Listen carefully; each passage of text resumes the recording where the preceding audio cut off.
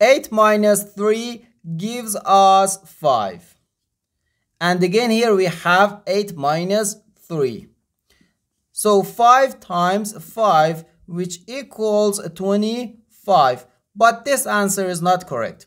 Because according to the order of operations which is PEMDAS,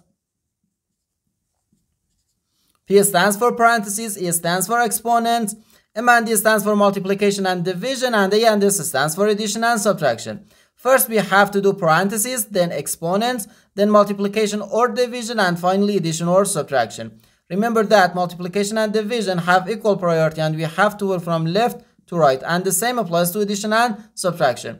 Here in this expression, we have one subtraction, one multiplication, and one parentheses. Here we have a multiplication because in mathematics, uh, when we have uh, a number next to parentheses, it means multiplication and we usually don't write the multiplication sign for brevity okay?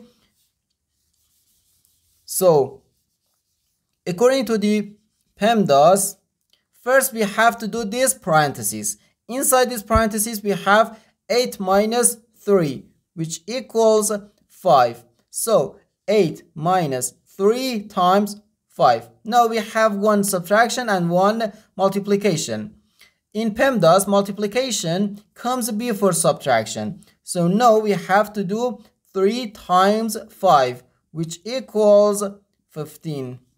So 8 minus 15 gives us negative 7. And this is our final answer to this problem. The correct answer is negative 7.